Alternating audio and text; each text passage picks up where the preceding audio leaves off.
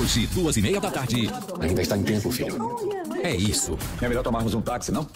É melhor, vamos correr. Isso, vamos, vamos correr. Tudo uma questão de tempo. O que que houve? Cadê você? Amiga, eu já tô quase chegando. O problema é que o trânsito tá péssimo. Então corre pra cá. Faça o que for, você tem que impedir esse casamento. Tempo pra farsa acabar. Aproxime-se, por favor. Hoje, duas e meia da tarde. Augusto, me perdoa, por favor. Realmente eu te agradeço muito. Quando me apaixono.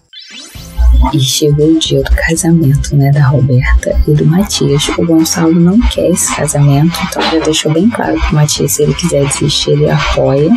A Renata tá tentando chegar para tentar impedir a cerimônia. A Adriana sabe mais ou menos das coisas, então tenta ajudar também. Só que pelo visto tá tudo correndo contra a Renata, né? Então ela pega até uma carona, uma moto, né? Porque ela tá com o Augusto para ver se ela consegue chegar mais rápido e tentar impedir a cerimônia de desmascarar a Roberta na frente de todo mundo. Será que ela vai conseguir chegar a tempo? Não vai? O que, que vocês acham que vai acontecer?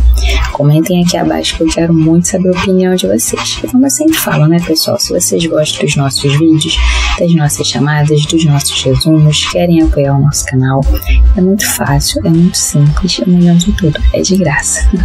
então se inscreva, comentem bastante, deixem seu like, compartilhem o nosso conteúdo com seus amigos, seus familiares, para que mais pessoas conheçam o nosso canal e venham fazer parte da nossa comunidade.